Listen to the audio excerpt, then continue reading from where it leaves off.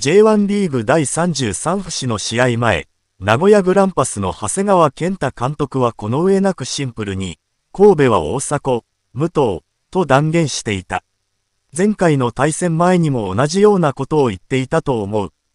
22得点を挙げ、ポストプレーや守備でも貢献度が高い FW 大迫優也と、10得点で同じくハードワークで身を粉にできる FW 武藤義則は間違いなく神戸の強さの象徴だ。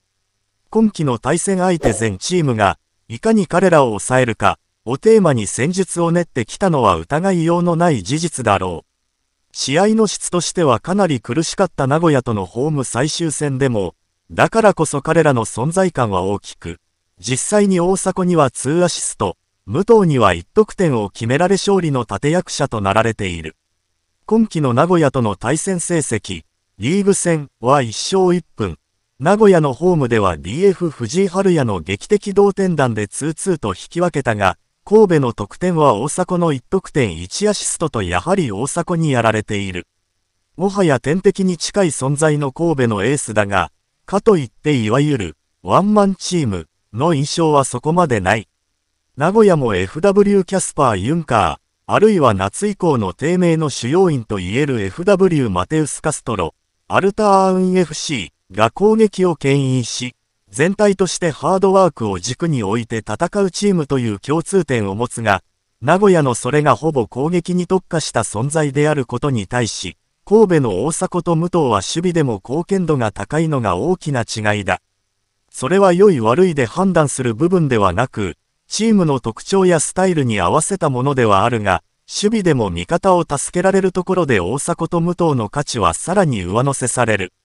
優勝を決めたノエビアスタジアム神戸での戦いも、防戦一方になる中で武藤は足がつってもボールへのチェイシングを止めず、大迫はチームメイトの疲労度を考慮したボールキープやクリアボールの空中戦をサボることなく繰り返していた。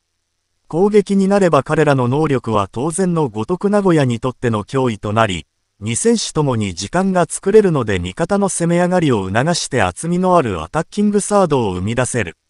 先制点は DF 本田祐希のスローインから始まったペナルティエリア角の攻防から、浮き玉を大迫が収めて MF 井出春也へのラストパスを通して見せた。大迫なら収めて出してくれる、という信頼を感じる井出のランニングは、トヨタスタジアムで行われた前回対戦時における神戸の2点目、MF 佐々木大樹のファー詰めにも重なる神戸の強みだ。ボールを奪われず、パスも選べる選手の周囲にはゴールへ向かう動きが生まれる。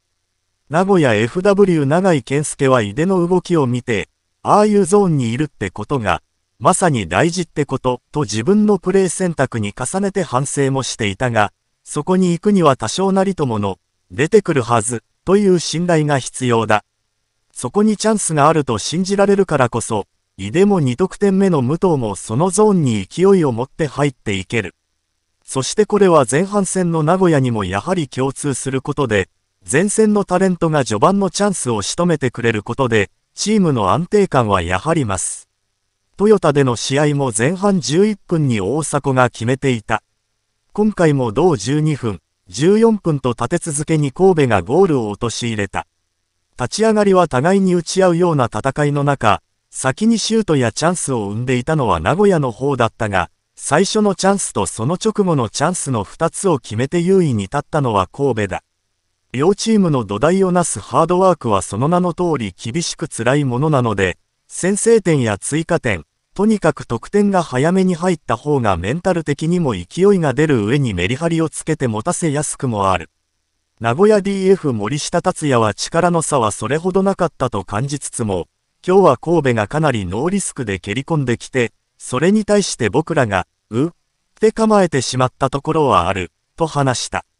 試合の流れを決める立ち上がりにラッシュをかけ、相手に殴り返されてもさらに、殴って、決めきってしまう。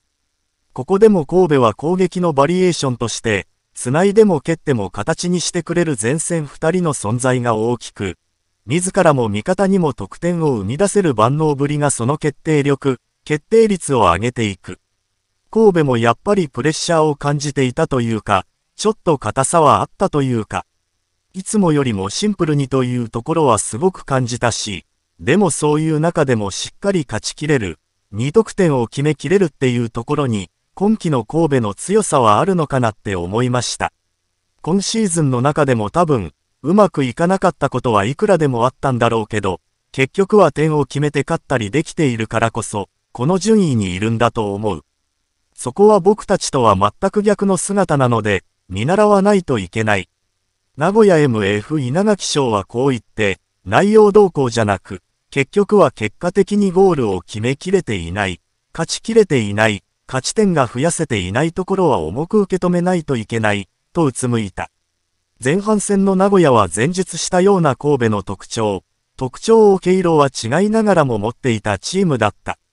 雑な表現をすれば、なんやかんやで最後は勝つ、という安定感や信頼感が、試合内容の良し悪しとは別のところに感じられたものだった。それは困った時にマテウスがチームに時間と強度をもたらしてくれ、そのおかげで得点に専念できたユンカーがゴールを決め、そこにリソースを割いた相手の隙をついて色々な選手がゴールを奪っていた。これはそのまま神戸にも当てはまることで、大迫22得点、武藤10得点の他に、佐々木が7得点、MF 山口蛍が4得点、MF ゆるき荒野と FW ジェアンパトリッキが3得点とゴールパターンは多彩だ。序盤戦の名古屋もユンカーを筆頭に長い、森下、MF 泉隆二、稲垣と複数の突破口を持っていたが、マテウス遺跡を境に得点の形が激減した。だからといって神戸が名古屋の上位互換であるわけではなく、あくまで掃除する部分を抽出したに過ぎない。替えの利かない選手がシーズンを通して好調を維持してくれた幸運も神戸にはあり、もちろんそのための努力や取り組みが個人にチームにとあったことは想像に難くない。彼らを支えるチームメイトも能力が高く、チーム一体となったインテンシティの高さや運動量、フィジカルな面での優位性も神戸の武器だ。そのハードワークを得点に変え、勝ち点3につなげてくれる高度なフィニッシャーの存在がまたチームに強みを加えていく。この好循環こそが、神戸の強さの本質と言えるのかもしれない。